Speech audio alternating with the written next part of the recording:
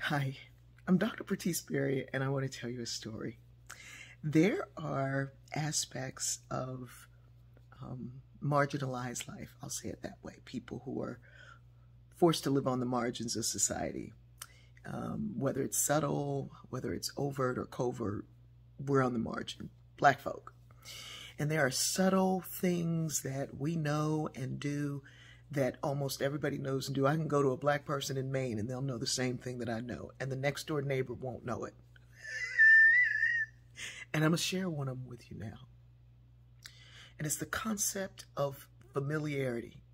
You won't find it nowhere in the research. In fact, I wish people would research this concept of familiarity. Now, there are black people everywhere listening to this, saying to myself, mm-hmm, saying to themselves, mm-hmm, girl, don't tell it, don't tell it. But how are we going to get together if we don't know? And actually, familiarity is one of the things that's keeping us from getting together. I'm sorry, I'm trying to get through this story because people on the margins know what I'm talking about we have this concept of familiarity that you can't get too familiar. You can get close, but you can't get familiar. And there's a look that comes when a person breaks into that familiar space. And that look is real simple. It's like,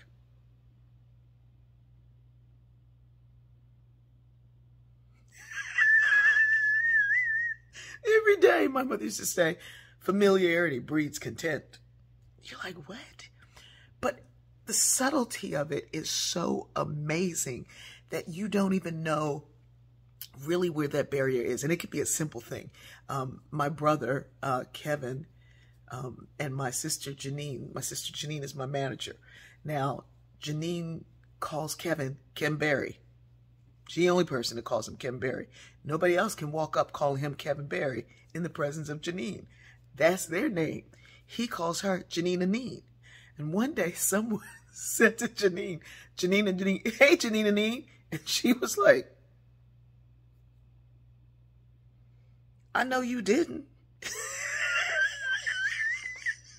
and my brother, to me, is my black brother Kevin. Nobody else can call him black brother Kevin. He's like, I'm not black to you. and just thinking about it is hilarious. There are people who know me by different names. Um, people in undergrad know me by a certain name. People, and then I'll read a comment. If I tell a story about somebody in graduate school calling me by, or undergrad calling me by that nickname, then someone will say, well, that's the name I'm going to call you by from now on. I'm over here like this. Because that's familiar. You've broken the rule of engagement. You have crossed the line. It is a, you could call me other names and I'll forgive you and all will be well. I'll forgive you for your familiarity, but it's going to take a little bit longer. it's just the craziest thing. And it is so amazing. It is so real. Um, even with neighbors and folks who you are close to and you want to be close to, and there's a thing and I have seen friends of mine, it, and, and quite frankly, it cuts across racial lines. Because when you let, when black folks or marginalized folks let people into their familiar space, they don't want anybody else try to cross that. And you, and you, you, you can see it. I have a friend at church who we were discussing something and somebody else came in and tried to get in the conversation and she's white. And she was like, she changed the subject because she understood the familiarity between the two of us that was kosher and good, but nobody else could break that space. And it is the funniest thing. And I really, it would take, it, it if you started at the age of 10 and died at 90, you wouldn't be finished studying familiarity. Now, many of you going to jump in and say, oh, I know just what you talk about. I do that with my friends. And you, you're not marginalized. And and I'm going to be over here reading it like this.